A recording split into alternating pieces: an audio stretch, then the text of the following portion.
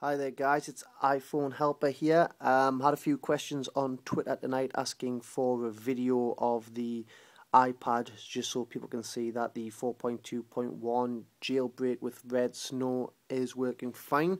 So um, as you can see from the clock it's quarter past one in the morning here so um, I'll get this done quickly.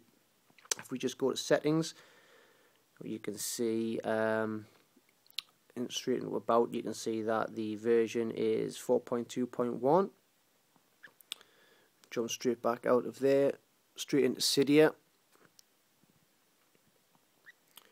One thing you notice about this version of Cydia is it does load a lot quicker than previous versions so that should appease some people.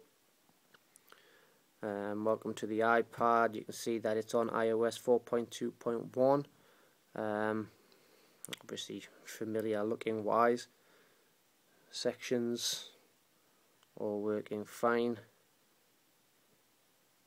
Um, you've got your changes, installed items, sources as you'd normally have. A couple of questions about Winterboard, whether or not Winterboard is working. As you can see, doesn't seem to be any issues on there. Select themes, that's where the themes would be if um, if I had any installed straight out the box as well. iFile um, that works without issue. Just jump straight into there. Um, you can just scroll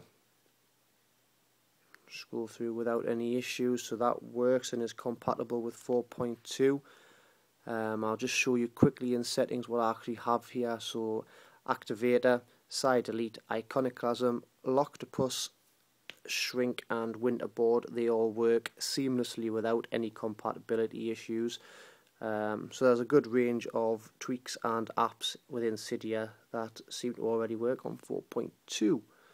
Um, so yeah, that's it. Everything seems to be fine. Not had any issues yet. Obviously, it's a tethered um, jailbreak, so if the device is rebooted, it does need you do need to run Redsn0w again, um, which is a bit annoying, but I can live with that.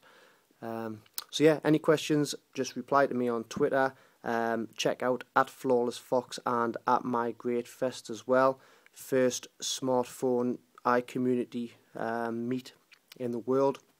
A lot of work going into it by a lot of good people. Check out the website.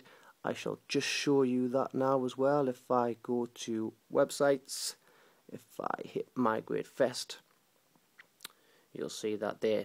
Check us out www.mygreatfest.net. Follow us on Twitter, like us on Facebook. You won't regret it, guys. Cheers.